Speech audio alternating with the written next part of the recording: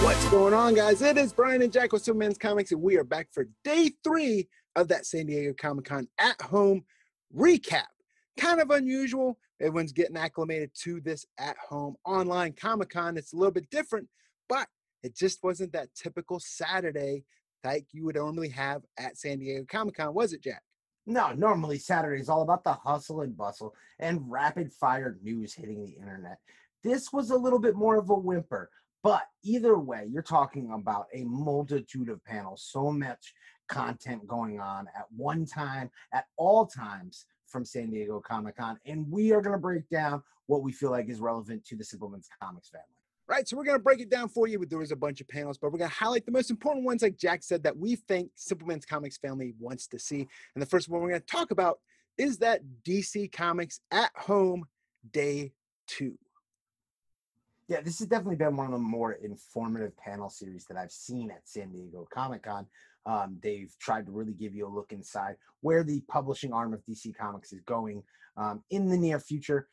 Today's really focused on Scott Snyder and Greg Capullo, the duo behind DC's Dark Nights Death Metal series. And they talked about kind of what has gone into the first two issues as well as what to expect. The biggest nugget of information that I think the comic buying community is going to care about is the fact that we know that Robin King is coming in issue three.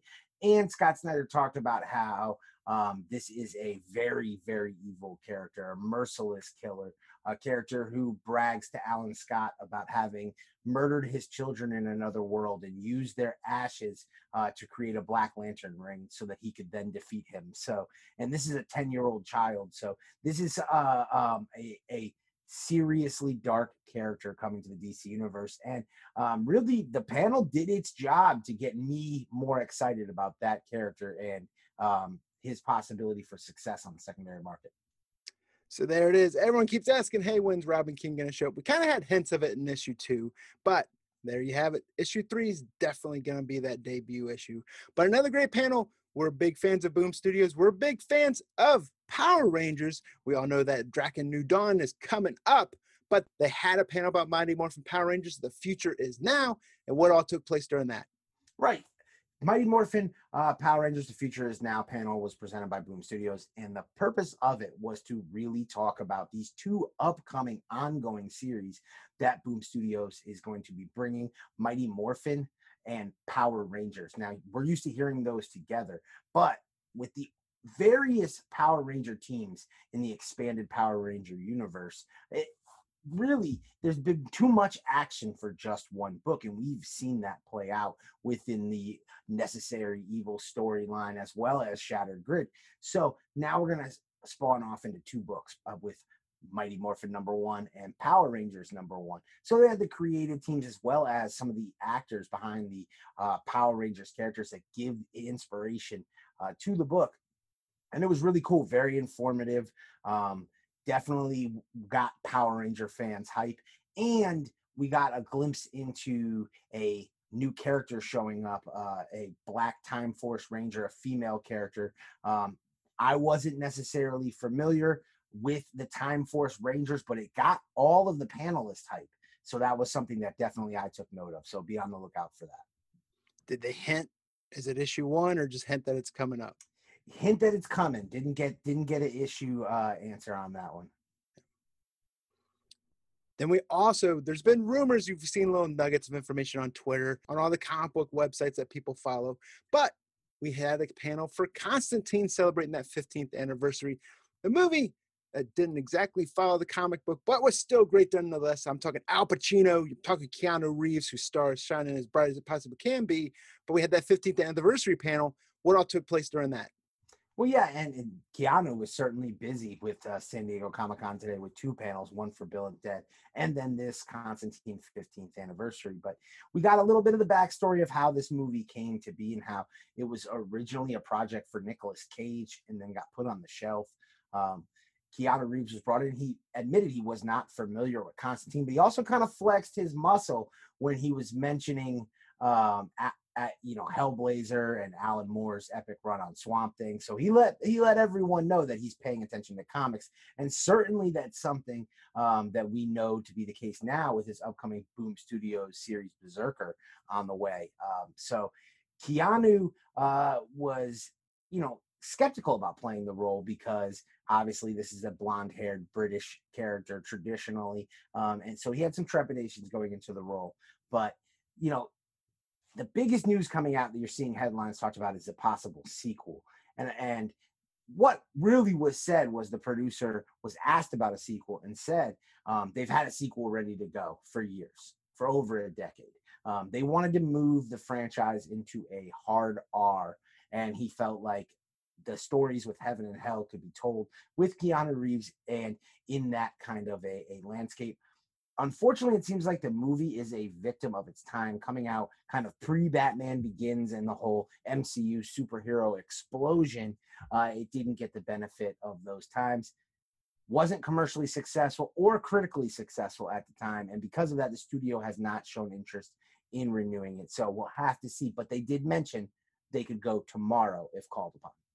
So those were the panels we wanted to highlight. But we also, like at the beginning of this video, we said it wasn't your typical Saturday, especially from the news cycle. Yes, there was a bunch of great panels. I'm not gonna take anything away from the panels, but you didn't have that hype, that buzz that you normally do on Saturday.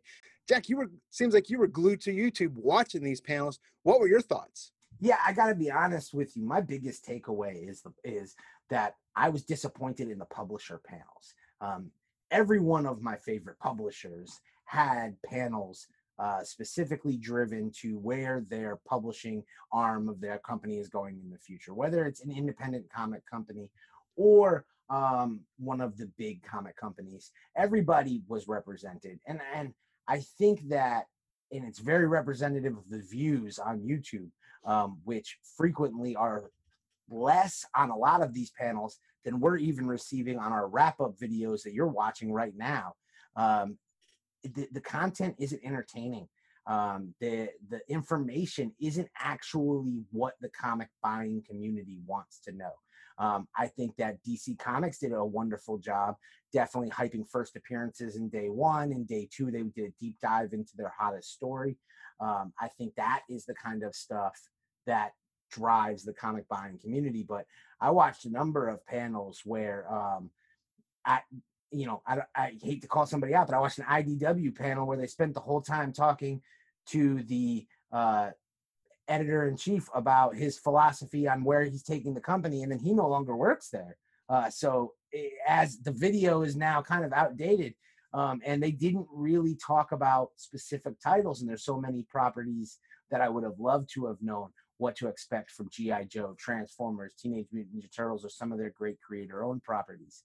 Um, you know, the the Marvel panel um, just didn't seem to have the punch that it had previous years, and I feel like what happened was is when the transition went from the traditional um, you know halls of San Diego Comic Con and the convention center to this online format. I think Brian, a lot of people just um, didn't know what to expect and they punted a bit and they didn't necessarily um, bring the same presentation you would see at San Diego. And I think they missed an opportunity because at San Diego, you can only play to the audience that fits in that convention center. And we know from YouTube that you're speaking to an infinite audience. And had these publishers really tried to break news and and try to deliver an entertaining um, you know, showcase of what they've got, they could have the entire comic YouTube community glued to their panels. And instead, um, they're not doing that. And most would rather watch a short recap video at the end of the day.